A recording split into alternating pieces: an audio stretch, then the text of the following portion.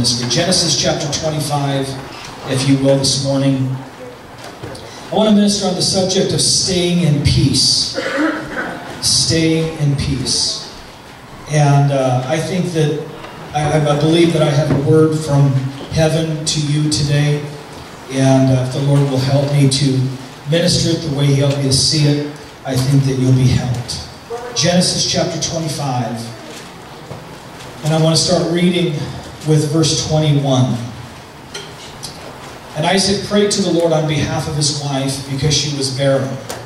And the Lord answered him, and Rebekah his wife conceived. But the children struggled together within her, and she said, If this is so, or in other words, if it's of the Lord, why am I this way? These two babies were literally fighting, warring within her body. So she went to inquire of the Lord. And the Lord said to her, Two nations are in your womb, two peoples shall be separate from your body. Now, let me just say this. Uh, she would, the Lord was not saying that two nations, as in, uh, you know, uh, you know, one's going to be uh, African and the other one's going to be uh, Arab. That's not what he meant. What he meant is he meant two different, spiritually different people are in your womb. There's two different kinds of people in your womb. And the Bible says, and the two shall be separated from your body. The word separated there actually means that there will have to be. In order for one to survive, there would have to be a separation of the two of them. We're going to get into all this this, uh, this morning. And the one people shall be stronger than the other, but the older will serve the younger. And when her days were to be delivered were fulfilled, behold, there was twins in her womb. And now the first came out forth red and all over like a hairy garment. And they named him Esau. And afterward his brother came forth with his hand holding to Esau's heel. And so his name was called Jacob. And Isaac was 60 years old when she gave birth to them. Now this is what I really want to get to, verse 27.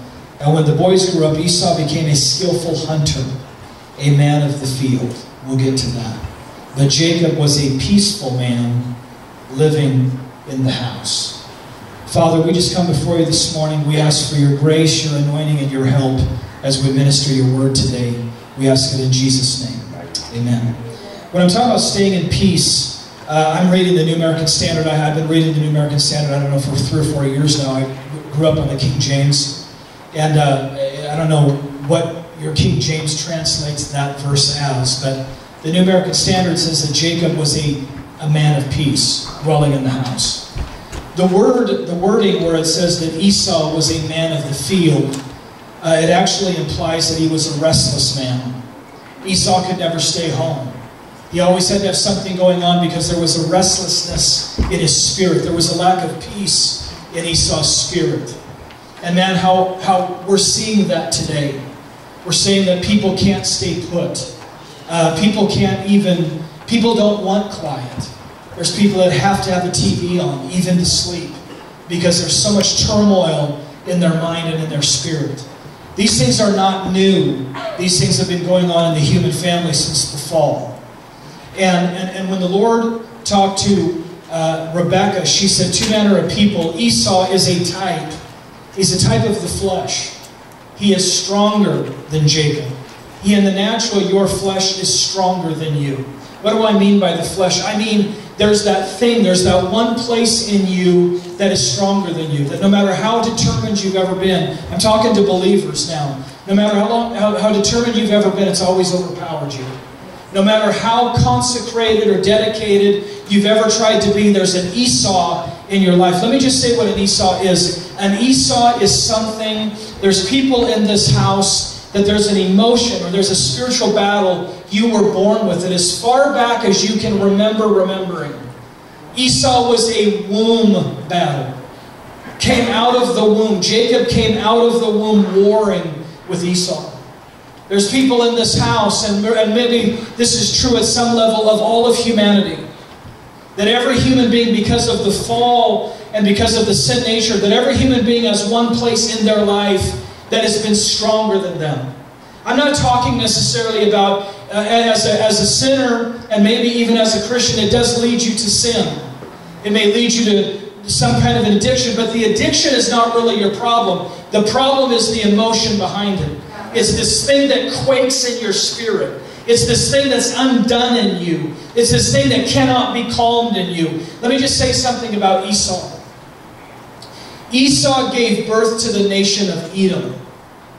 It says in the days of David that David put garrisons only in certain countries, countries that could never be trusted, countries where quarrels never stopped breaking out, countries where there was always uh, uh, something in them that wanted to rise up and cast off David. And David put garrisons in Edom. What am I trying to say? I'm trying to say that Esau is unconquerable to you. You can't, you're never going to outgrow it. You're never going to outrun it. I don't care how old you'll ever be. I don't care how smart you're ever going to get. There's something within every human heart. How do I know that? I know that because even Paul had a place. Yeah. And that, and that, what's that, what that's meant to do is to drive you to understand the power of resting in Christ. Yeah. The Bible says that, he, that Jacob was a man of peace. It means as long as he stayed in the house, as long as he stayed in peace, Esau was brought to his feet. It's interesting, as long as Jacob stayed in peace, this, this thing that was more powerful, that if he tried to stand up and contend with it, if he ever tried to war against it, it would defeat him every time. But if Jacob just simply stayed in the house and stayed at rest, stayed the resting man, stayed the resting believer, stayed rest, stay seated, Esau would come into the field one day and say, I'm going to die. Can you imagine the powerful man? The man that could do anything, the, the wayfaring man. Let me tell you something. I know men that are strong on the outside, troubled on the inside. Men that can do anything, that are physically powerful, troubled on the inside. Never at rest. Undone. There's no peace in their life.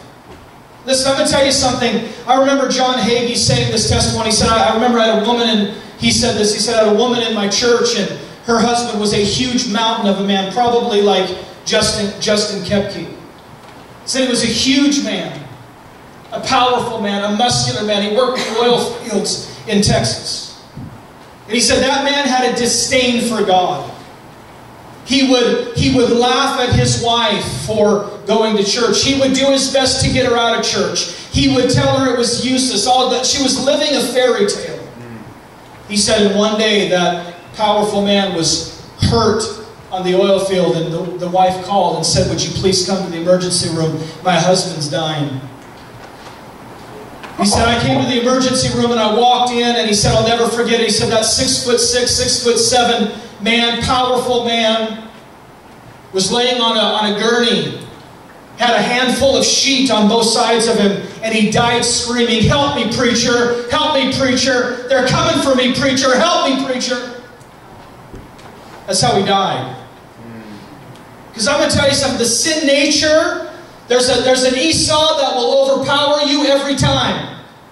Ten times out of ten times. But as long as Jacob would stay in peace, God would bring Esau to his feet. Let me read to you 1 Thessalonians chapter 5, because, well, let me read to you what Watchman Nee says. This comes out of his book, directly out of his book, The Normal Christian Life.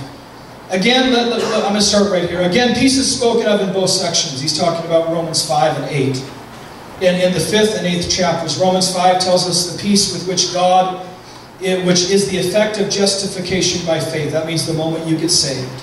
Faith in His blood. Therefore, being justified by faith, we have peace with God through our Lord Jesus Christ.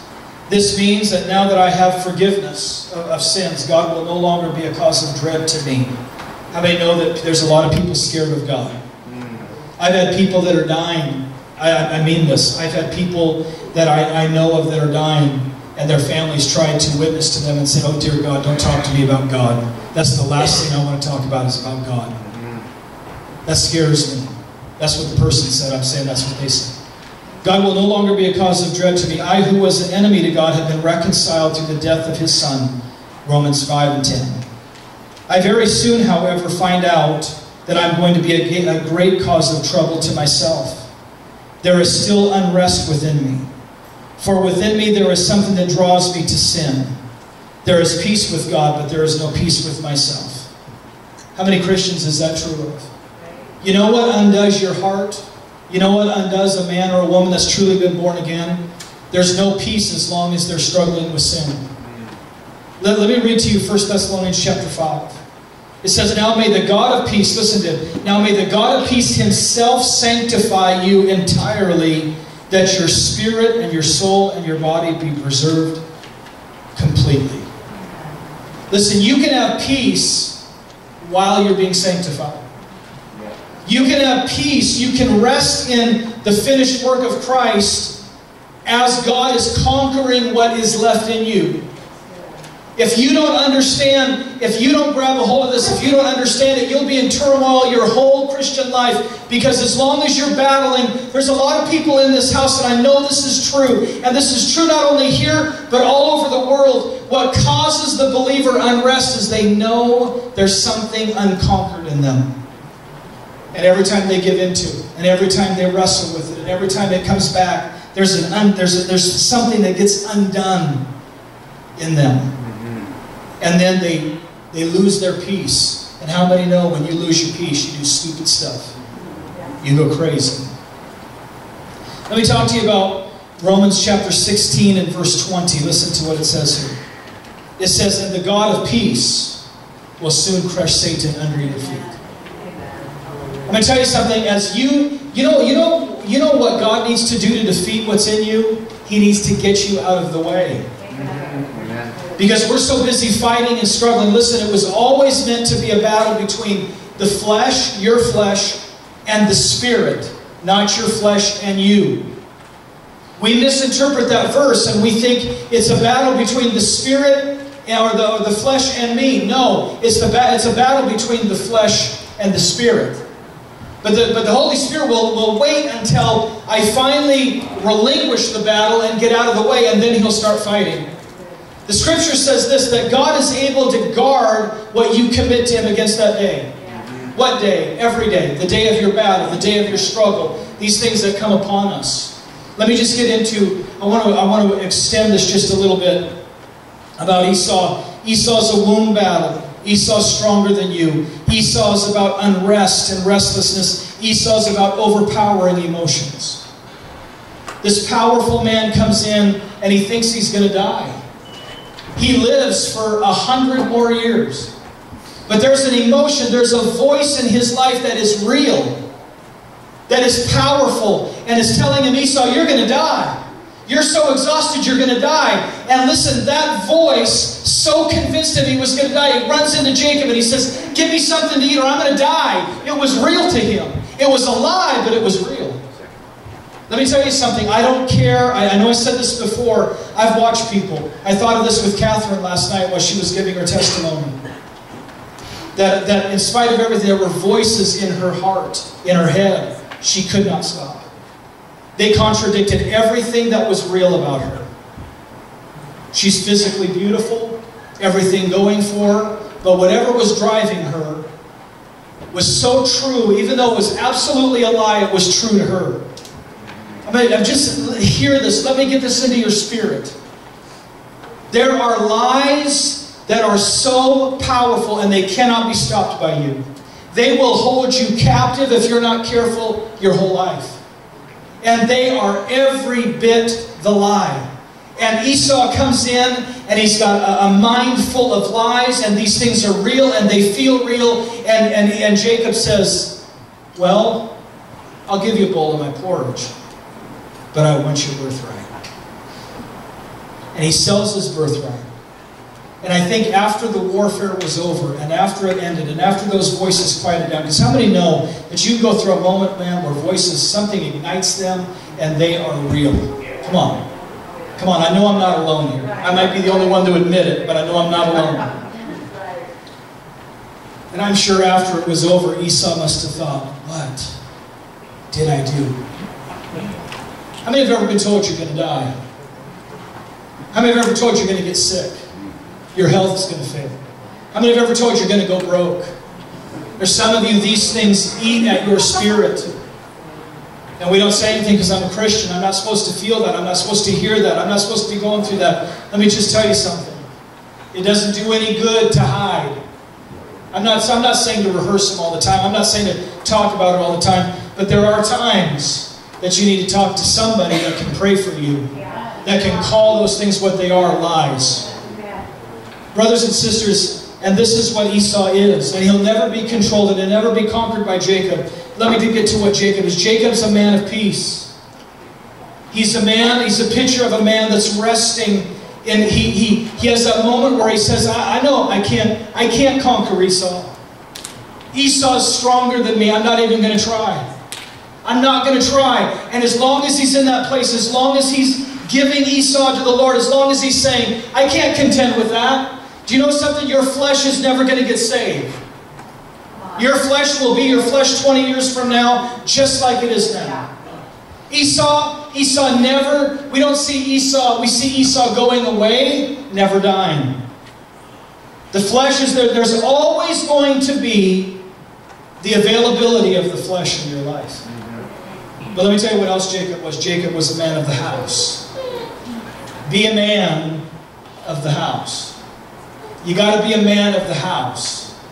Listen, I'm going to just say some things. The Bible says that the house is where a, in Acts chapter 2, a violent rushing wind came in where they were sitting. I'm going to tell you something. See, what I think about the violent wind is the Holy Spirit is violent about helping resting believers. When a believer rests in Christ, when a believer finally sits down and says, I'm tired of trying to deal with this in myself, I'm done with that, I've lost and I've lost and I've lost, and now I'm ready to sit down. I'm ready to rest in you. Let me just say something. There was no chairs in the Old Testament temple. There was no place to rest because the work of dealing with sin was never done. But the great joy of where we are today is that Jesus, if I give it to Him, Jesus can conquer what is in me. Jesus can conquer your fear. Jesus can conquer your identity battles. Jesus can conquer your negativity.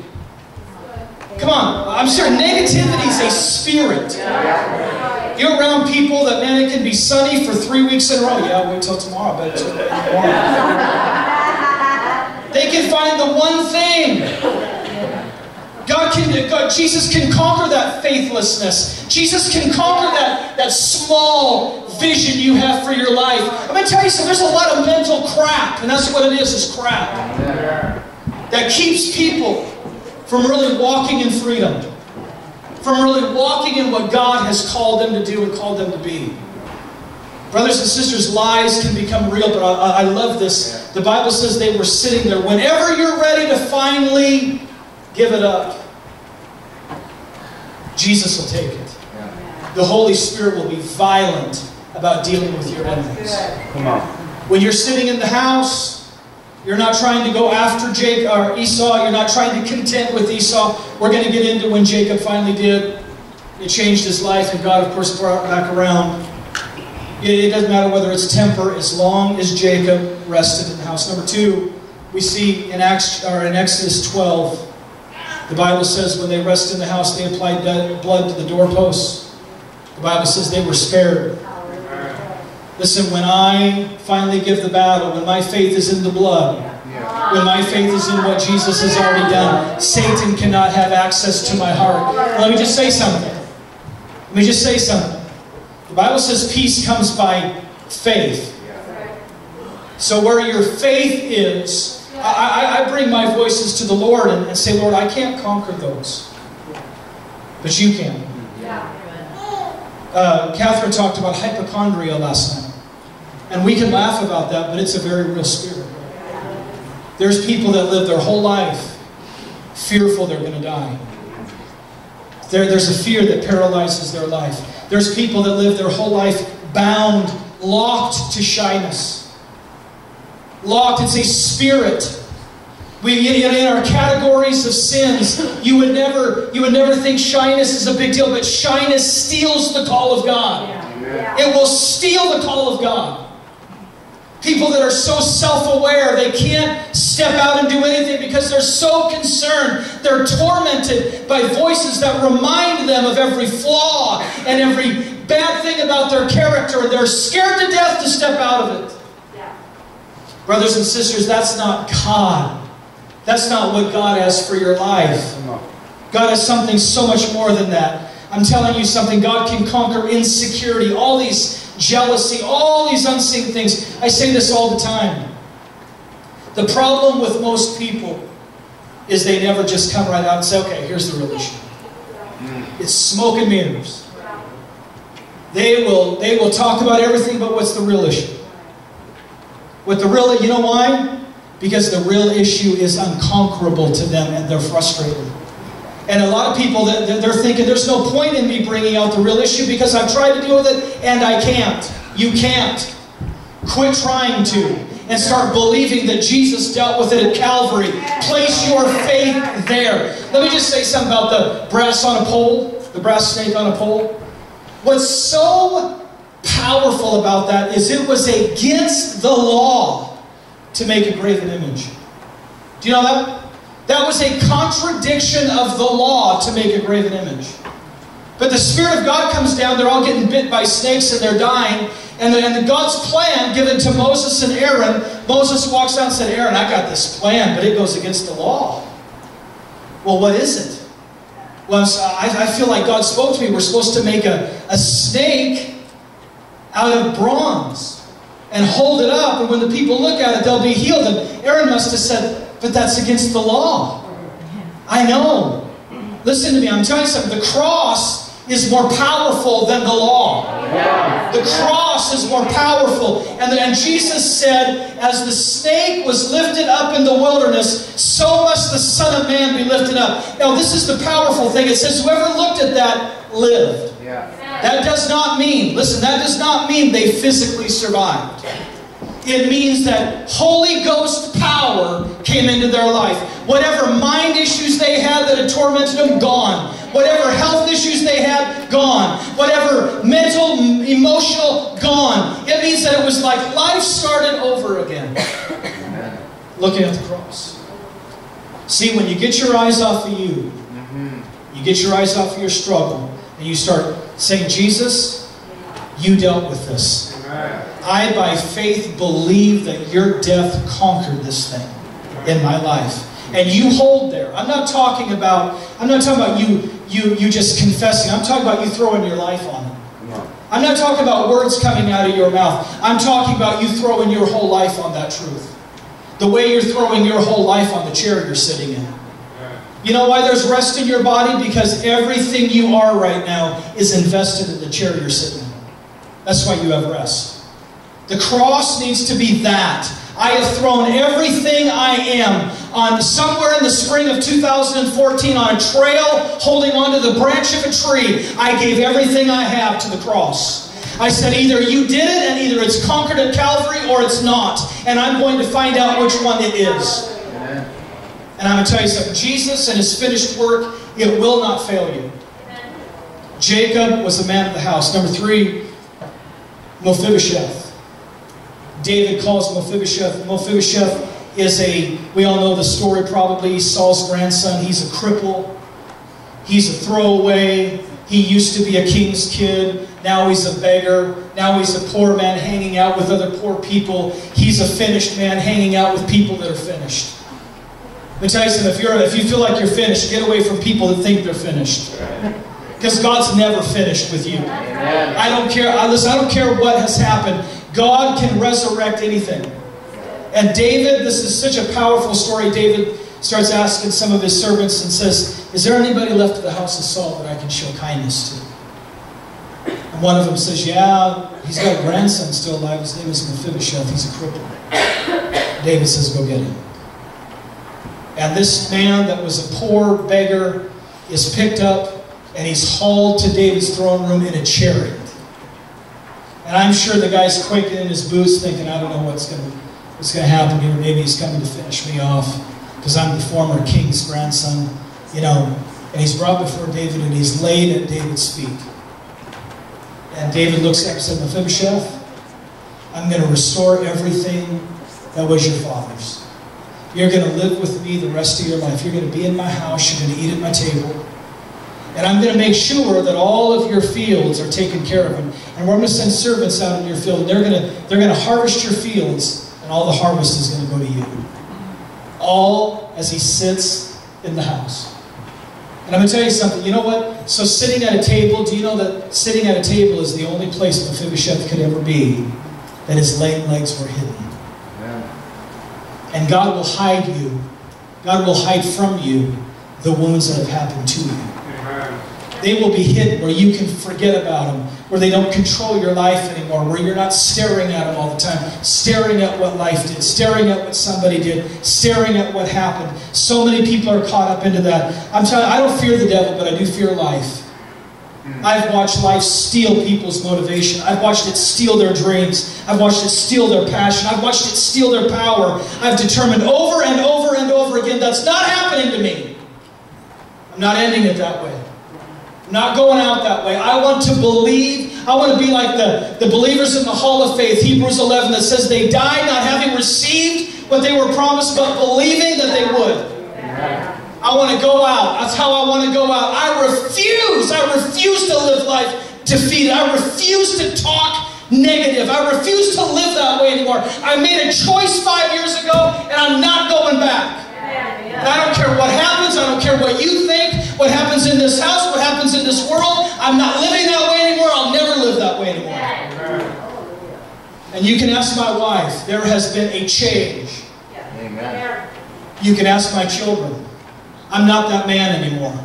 And I'm going to tell you something. When you, listen, if you will come to a place that you say, I can't conquer what's in me, but I'm tired of it. I'm tired of living down. I'm tired of living depressed. I'm tired of living negative. I'm tired of being consumed with what has happened. I'm ready to sit down and rest in you. I'm telling you, the power of the Holy Ghost will come to your help. I'm telling you, He will be your escape. He'll blow out of your life everything that has happened. Amen. It is true. It's our only hope. It is our only hope. I'm going to tell you something. Some of you are in a war in your life. You're in a war in here. Yeah.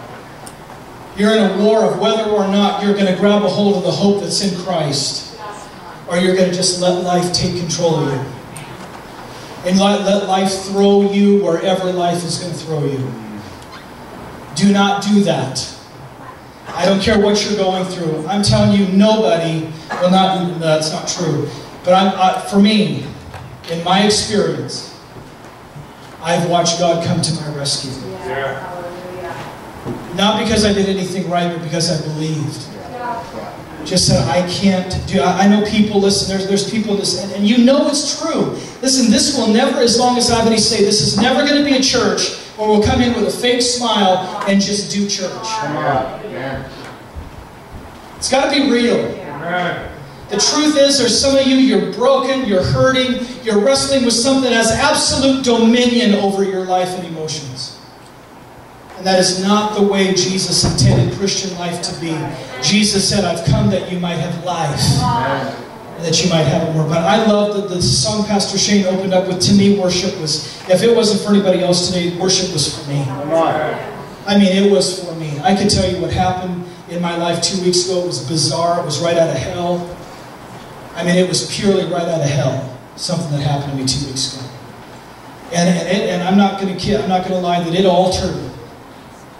It, it altered me for the last couple of weeks. And but I came in here this morning, and I just thought, this thing is leaving today. Amen. I am done with this. I'm not being tormented by this anymore. Brothers and sisters, how many know that spiritual warfare is weird? Come on. I mean, Pastor Shane didn't get up one day, eye problems, all of the sudden. No explanation, eye problems. Ulcers in his eyes. John falls off a ladder. You know, that, that, that's not, I that doesn't just happen. I think those things are, I'm not, I'm not, I'm not trying to spiritualize everything, but I choose to say, I, see, I choose to live life this way. Satan, you took a good swing, baby. See, I see John healing. I hear John healing. Yeah. Amen. I know that God's not done with you, sir. Amen. In fact, He's not only done, He just getting started. Amen. Listen, I- so I- I'm telling you something, church. I believe this. I believe God. Satan has come to me and says, Yeah, where's your promises now, loudmouth? Hmm. Still there. Where's your promise now about packing the house? Where's your promise now about all your teetotaling, talking about the cross? You have to make choices, and you have to make choices deep down in your gut. Nobody's there but you and God. You've got to make a choice to say, I'm not believing. I love that song. I'm not believing what I see, and I'm not believing what I feel. I'm believing what I've been told. And I'm I believe that Jesus at Calvary scattered every demon of hell,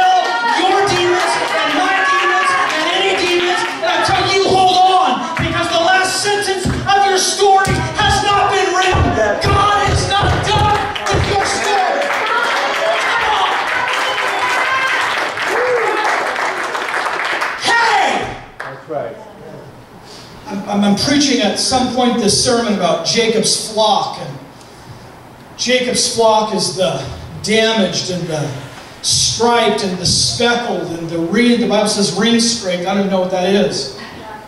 All I know is they were the weird sheep. And I say, Jesus, you gave Cindy and I the weird sheep. And I'll tell you something about weird sheep. Weird sheep need power. Weird sheep need power. Damaged people need power. They can't go to church where we just sing the three songs and go through the motions and pretend it's all okay. No, we need, this house needs heaven. This house needs the power of the Holy Ghost. This power needs tongue talking, spirit-filled men and women of God. This church needs leadership that says that's where we're going and that's what we're believing in, and I won't be moved.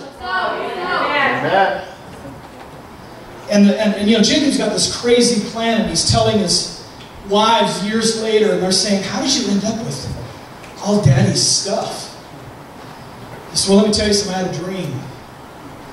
And in the dream, God showed me these, these sheep that were ringstraked and spotted and said, Go after those.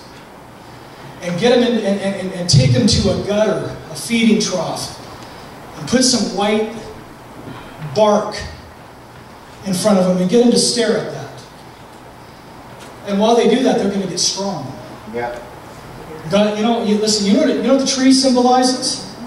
The cross. Yeah. Stare at what Jesus did. Yeah. Come on! Yeah. Stare at what Jesus did.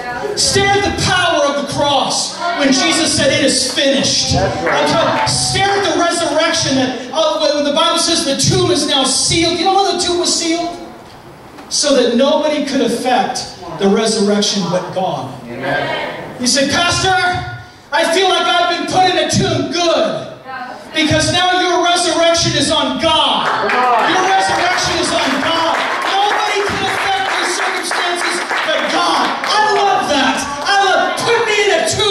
Where only me and the Holy Ghost are. And I'll come out, I'll come out one day.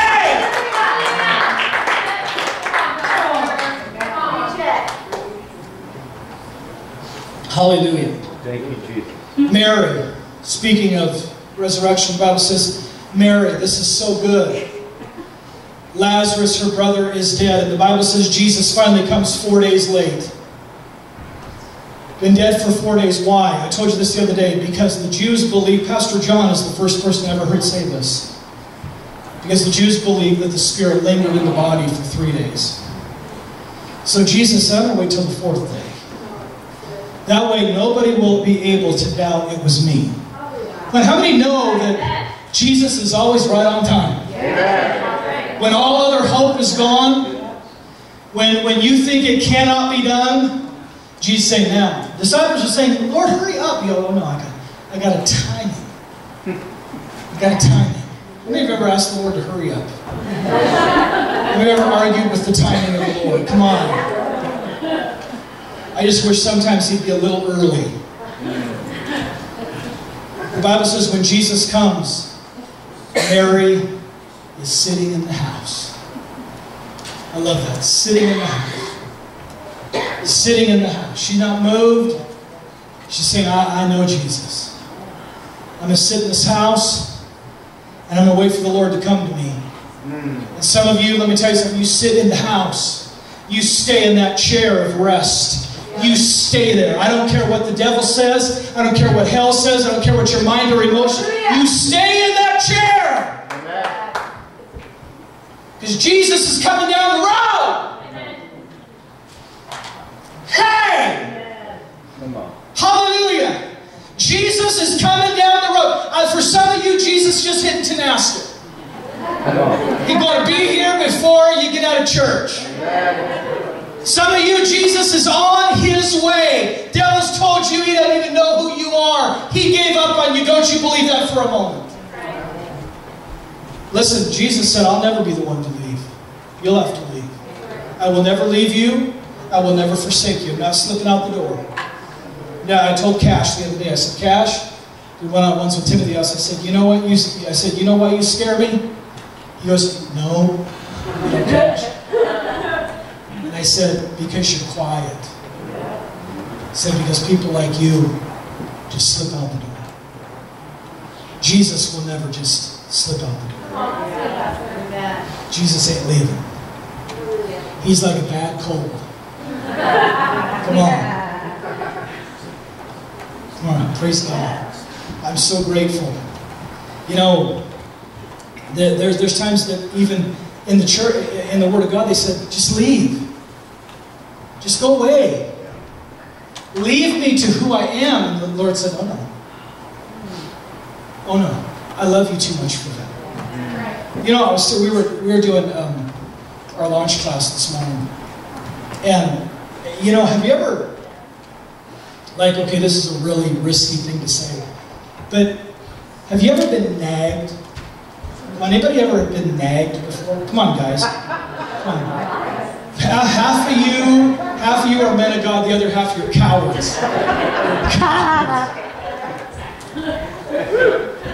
But you know, the Holy Spirit's a nagger.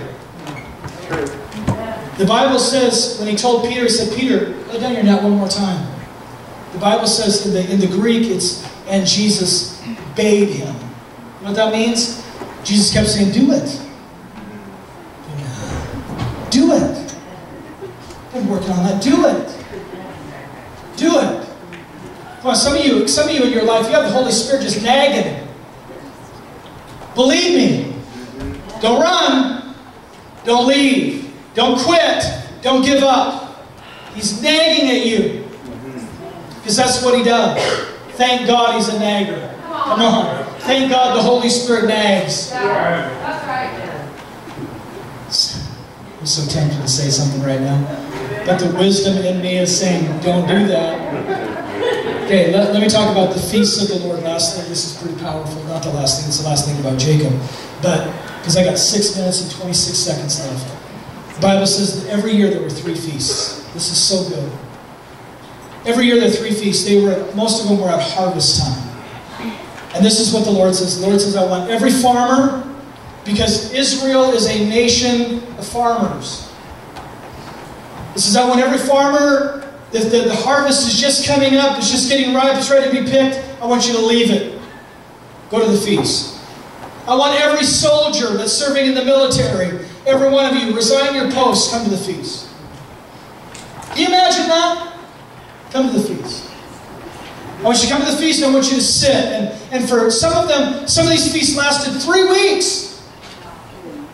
And you're going to rest for three weeks. And can you imagine those old farmers thinking, man, chewing on a piece of hay, and I got a harvest to get in. Some of these generals thinking, man, the enemy could attack us at any time. We're naked. The Lord said, oh no, I got it. Okay. I got your feast. Mm-hmm. I got your crop. I'm the protection of Israel. I'm, I'm the warrior of Israel. Come on, I, I'm, I'm the one. I'm the protection of this nation. You're not. You're puny. I'm it. I'm the general of generals, baby. I got it under control. I can keep your I keep your enemies at bay, being terrorized in their mind while you're worshiping me. Listen, I'm gonna tell you something. You stay in the house. Stay. I don't care what's going on in your life. Stay in the house. Stay in the chair. And some of this applies to the house of God. Come on, if you think for a moment that Pastor Shane and Pam and Cindy and I and any other leader in this church, we're here all the time because we want to be. I mean, come on, you know, we just wake up. Going to church today. No.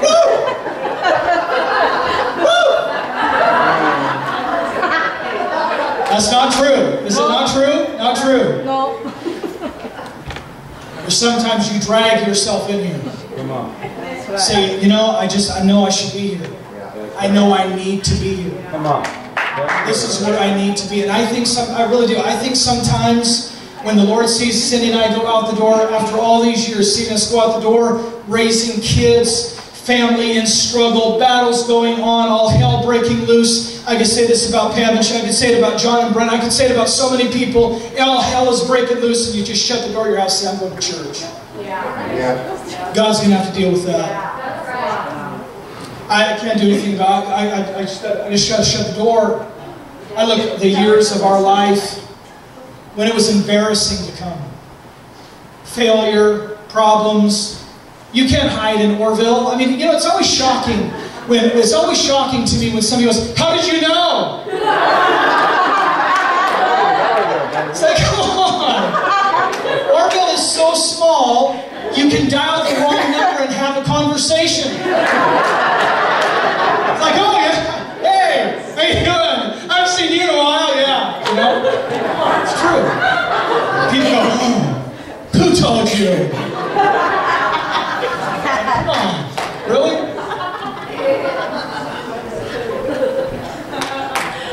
Gossips. Listen, man, and, and, and we would walk through some of those times. We knew we were being talked about. We knew that, that, that things in our life looked like a contradiction. We're going to church. We're just going to go to church. You walk in, you know, troubled times. I, I know for a fact, I know for a fact. You know, the disciples had to think, you know, they probably hardly ever encountered storms on the Sea of Galilee before they met Jesus. It's like everywhere this guy goes, there's storms. Gosh, I never, I never, I never remember storms on, on, the, on the Sea of Galilee before this guy comes along. Come on, sometimes you get into these seasons where it's like, I think I had less problems before I got saved. Yeah. Has that ever crossed your mind? Yeah. But you know what? See, this is what I know. I know there's going to be warfare whether you serve God or whether you don't. But I would rather have warfare that takes me somewhere. Come on. I'd rather have storms because remember something. Elijah was taken to heaven in a storm. Come on. Storms take you places. Amen. When you're going through a storm, Satan will tell you you're just going through another storm. But I, I, I, storms take you places. Elijah's taking out people standing, you know, people standing around, you know, watching your life. Oh, there they are, another storm. Oh yeah, here it goes again, another storm. Always in storms. yeah, well, Elijah got the chariot. Elijah got the chariot. I, I, I, listen, I, I'm convinced about the character of God. Mm-hmm. I'm convinced that God will not. God has. God's taken me someplace. God's taking. You got to get that in your spirit. Yeah. God is taking me someplace. I've been in multiple times. I've had voices in two weeks. I've had that. I, I mean, I've literally. I've had to war. I've had to war in two weeks to get something from God, for the Word to speak to me, for the Word to make sense to me. But one thing I've been convinced of the entire time, deep down in my heart, is God, you wouldn't do this. You would not let this end this way. This is not who you are. That's right, right. I'm convinced of that. I'm convinced of that. Now, let me get into the last part of this. So, here's what happens Rebecca comes. I've got 19 seconds. To, I'm not, I can't do that. It's like,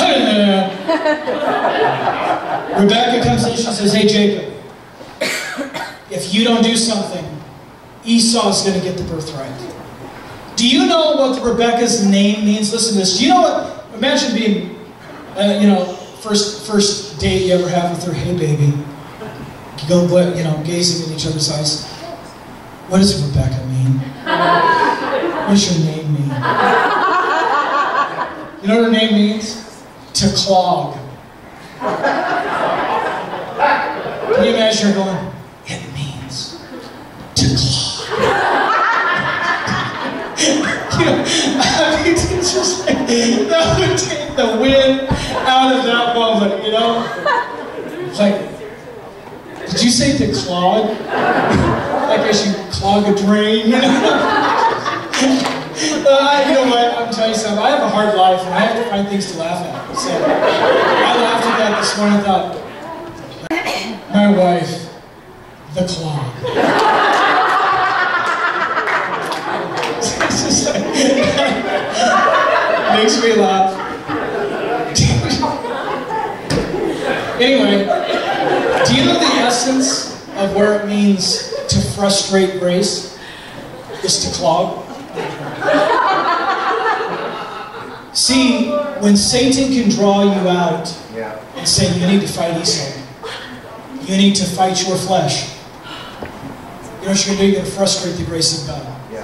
And that's exactly what happened. And as a consequence of this, Jacob begins all these kind of schemes. And he lives as a schemer for 20 years of his life. Because you can't outrun what's inside of you.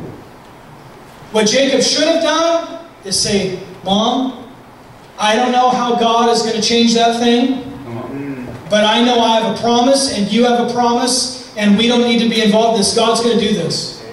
And I don't know what God would have done. I don't know what God, how God would have intervened, but somehow God would have made sure that Esau did not inherit the birthright of the blessing. Somehow God would have. We'll never know that because nobody rested. And Esau's or Jacob's drawn out. And here's what happens. Fast forward 20 years. Jacob now is 400 times stronger. Right now, he's dealing with one man. 20 years later, when he comes back, he's dealing with Esau and 400 warriors. Listen, whatever you don't deal with today, you'll deal with down the line. And it will only get stronger. I'm talking about it'll get a, a stronger hold on your emotions, it'll get a stronger hold on your faith, it'll get a stronger hold on your vision, it'll get a stronger hold on your hope. It will infect you. And so 20 years later, Jacob comes home. God says, Now's the day you're going to deal with this. And Jacob, the Bible says, comes home. And this is sad. Here's, here's where Jacob, Jacob is self absorbed. It is about survival, baby. He puts, can you imagine this? Can you imagine the husband going, Hey, um, you know, my brother is really mad, and I've heard he's coming with 400 men, and he's probably going to kill all of us. So here's what we're going to do. Honey, you're going to the wayfront. And so he's going to kill you and your kids first, okay, baby? Thank you. And then he goes to the next wife, and then you're going to be just Oh like bizarre. You know, and then you're going to be next.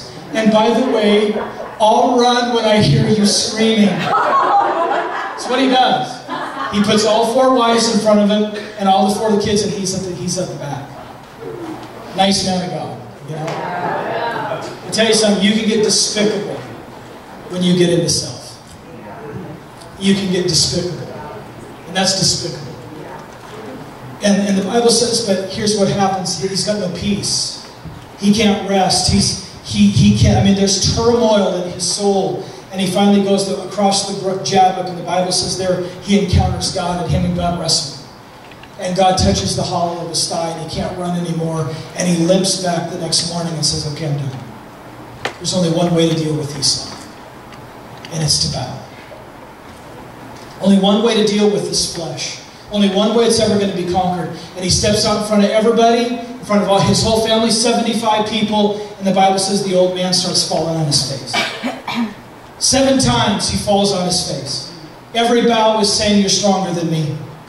Every bow is saying, I can't deal with you in the natural. I've got to have God deal with you. Mm-hmm. God has to deal with you. You're stronger than I am. I'll never win. And the Bible says at that moment, God comes upon Esau, and Esau says, Whoa, whoa, whoa, whoa, wait, wait, stand up. And he hugs him. Because when you're ready to bow, when you're ready to say, I can't do this, this lust, drug addiction, emotion, anger, unforgiveness, rebellion, hidden sin, secret living, always living in a false motive, always lying about what's really in your heart, I'll never win till I bow. And in front of everybody, he starts bowing. And the Bible says this the Bible says that Esau, they grab each other. Now, listen, that's not the end of the story, but the end of the story is, is really powerful. Because the Bible says now they go back and they both start being blessed. But the Bible says one day, Genesis 36, Jacob doesn't even know this. Esau gets up one day and he says, he's the flesh, remember, type of the flesh, gets up one day and he says, hey, everybody pack up your stuff. We're leaving. Says to his family, everybody, 400 warriors, whatever, said, we're, we're out of here. We're leaving. See, I'm going to tell you something. God will not only conquer your flesh as it concerns you, but He'll conquer your flesh as it concerns everybody about you. It'll bless your family. It'll bless your ministry. God will not only conquer it for you as a person, God will conquer it over everything else God has for your life. God can banish the flesh off of your destiny, off of your children, off of your finances, off of your marriage, off of everything. The flesh will forever run away. It will forever be conquered so that you can live life the way you were supposed to. Amen. I look at people all the time and I think this. They drug around. My dad used to say this when he was when he was still bound to alcohol and he couldn't get free before he got saved. This is what he used to say. He said, if I ever get this monkey off my back. There's people in this room, you've lived your whole life bound to something. You have never, Jessica to, you have never, ever known as an adult a moment's peace. I was thinking about this when we were looking at Catherine's pictures last night and, and seeing pictures of her and Brittany. And when they were little girls, before the war came, right? Right, Brittany? Before the battles started in here. You look at little kids running around this church, happy, laughing, before the war comes. And you look at a little kid like that with a beautiful smile, and her and Brittany are both beautiful women, and you never thought of what they were going to encounter when they had those pictures of them as little girls. And you can say that a thousand times. I say that, uh, I know Carlos's story. I know so many people's story in this house. Robert, I know his story living life, happy 12, 13 year old. His dad has an aneurysm. And in a moment's time, his best friend, not just his dad, but his best friend, out of his life. Life completely starts over. A different world. I'm telling you something, what makes a human being different from anything else, anything else in, the created world, is that you and I have a spirit battle. There's a war in the spirit against your soul, against your spirit. Would you stand with me this morning? Listen, I, I thought that last Sunday, I thought this would be the atmosphere last Sunday. But I've been having something in my spirit say from God that I'm bringing, I'm, I'm bringing services that are going to be yoke breaking. I just, I felt this in my spirit. I have felt God say to me, you're headed for a service that when you walk out, you're going to go, that's why. That's why we've been facing some of the things we've been facing. I believe that. So I want to do something this morning. Now, now listen. I don't want to. I don't want to just have leaders come up just because you want to come up, or just because you're even bound to come up. Because some leaders, I think, actually need prayer too. But I want I want this morning, if you're in this house, and, and, and, and there's just something in you that says, you know, I, I'm talking to leadership now, something in you that says, you know, I just feel like, like God has something to do or to say through me this morning. And I leave that between you and God. I want you to come. I want you to come and I want you to stand up here and be ready to let God speak through your life. So if you're a leader in that capacity, come on. It doesn't mean you're super spiritual. It just means that you sense this in your heart. Come on, leaders. Is there anybody? I don't have anybody. I don't have one leader that that's the place you're in. oh, we're in trouble. Okay. I'm in that place. So, is there anybody? Okay, so I'm just going to leave it there. If you're here this morning, you're here this morning and you would say, I need prayer. I got an Esau in my life. I got an Esau in my life. And I need to sit. I need to rest. I need to let God bring me and keep me in a place of sitting, would you come? If that's you, would you come? You're in the house this morning and that's you. You have something in your life. Whether you're a believer, whether you're not a believer, if you're not a believer, we want to pray for you because we don't want you to leave without being a believer. But this is where you're at.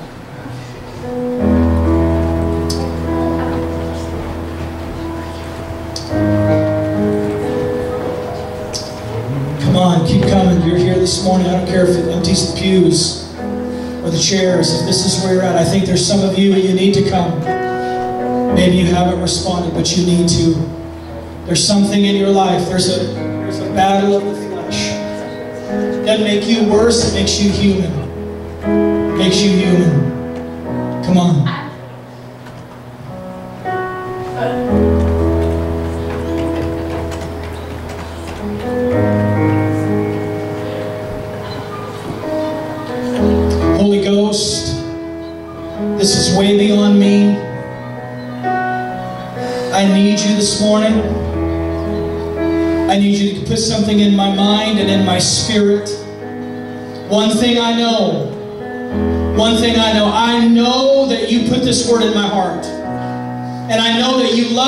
There is nobody at this altar that is just another person. They're just another human being. There's nobody like that. Every person here is special, unique. You knew they were going to be here. You appointed this moment. They all need different things, but they all need the same thing. They need an encounter with heaven. They need an encounter with heaven. Listen, I want to say something this morning. Some of you, your spouses know your battle. And, and I think it affects you. It makes you makes you feel like, well, I'm not really saved, or I'm not really true, or I'm not really honest. That's not true. Cindy and I have fought with devils and demons, and, and sometimes we, we, we, you know, we don't look like we're fighting or whatever, but we're warring. There's been fights we regret. There's been things that were said that shouldn't have been said, but I've always known Cindy was sincere, and I believe she always knew I was. So that's where you're at. Listen, your warfare does not mean you're not sincere. It means the devil knows you're sincere. The devil knows there's something real in your life or he'd leave you alone. If you were a hypocrite and a liar, you would be left alone. Your warfare is because it's real, because there's something real in your life. There's something real. There's a destiny that's real. There's a heart that's real. There's a, a cry that's real. So raise your hands this morning. Come on, stretch your hands to the Lord. Stretch them out as, as far as you can get them. And I'm telling you something, Jesus is going to come. Father, in the name of Jesus, I ask you this morning right now, I ask you that you cause us to rest. Cause us to sit in the chair that is the finished work of Christ. Lord, I pray that people give up this morning. They give up trying. They give up trying to themselves. They give Esau to you. They bow to Esau and say, You're stronger than me, but you're not stronger than Jesus. I make it between, I make this battle between you and the Spirit, and not me and, the, and not me and the flesh. Listen, some of you, you fought with worry your whole life. Fear steals your joy.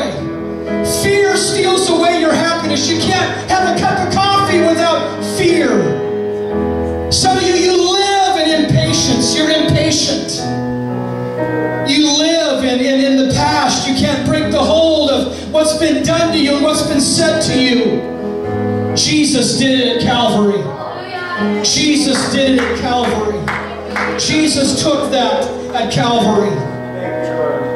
Listen, I want you to repeat something after me. Father, in Jesus' name, I believe that at Calvary's cross, you paid the debt.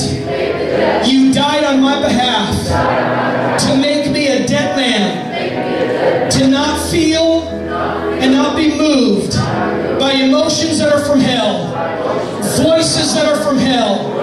I am dead to fear. I am dead to, to jealousy. I am dead to lust. I am dead to anger. I am dead to unforgiveness. In the name of Jesus, by faith in the finished work of Christ, I'm dead. I leave it here today. It is between, it is now between you and my flesh. In Jesus' name. Amen. Amen. Listen, before you leave, before you leave, I want you to do something. I want you, if you're married, I want you to pray over your spouse before you leave here. I want you to probably think it's because you're fighting, you, you war against things that are not yours, but they're ours. And so I want you to do that before you leave. Love on somebody. Remember, there's small groups.